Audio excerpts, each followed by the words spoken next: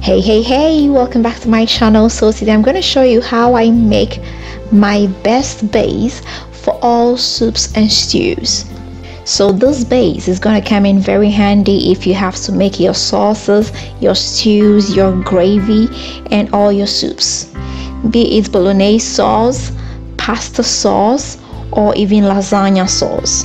This is basically gonna save your time. So without wasting much time let's just get started so I'm going to be needing some fresh tomatoes and as you can see these tomatoes are so red and fresh from the garden. So I'll put it in a very large pan. Make sure you've washed them very well. I'll come in with a little bit of water. Then I'll cover it up and I'll leave it on a low flame to cook you don't have to overcook this. I just want to soften it up so that it can be very easy to just mash it up and get rid of the skin. Also you're going to be needing some onions some garlic a little bit of ginger and some green pepper. This green pepper here i must say is just a little spicy. And what i'm going to do is i'm going to blend everything up. So after blending this is what i have here. I'll just set it aside for later now put my pan on fire and come in with some oil. I will then come in with the blended onion mixture.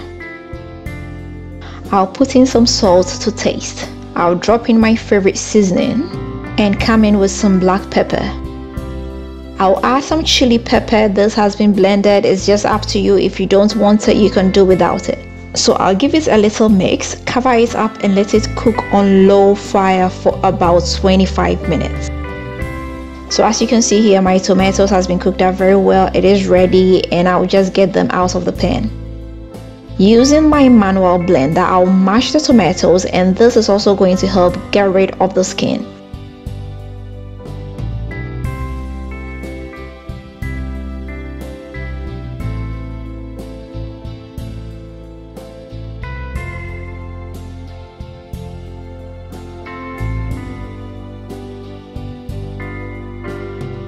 so after mashing everything up this is what we have here. So it's been after about 25 to 30 minutes and this is our onions over here. As you can see it's very well cooked.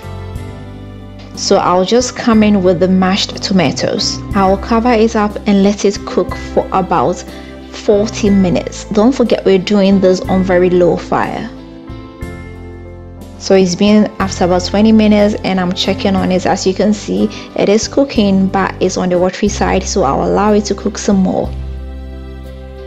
So it's been after about 40 to 45 minutes and this is what we have here. It is ready so i'll just put off the fire and let it cool down. I must say it's going to thicken up some more after it cools down. So i'll just get my plastic container and transfer the sauce into it now if you have smaller containers the better. You can just put them inside and freeze it up.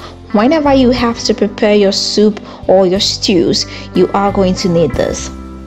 So you basically just put this on fire and come in with your meat or your fish or whatever you want to use and you're good to go so you don't need to go through the hassle of you know blending your onions and garlic and everything and preparing the traditional stew as you used to do. This is going to save you some time and money.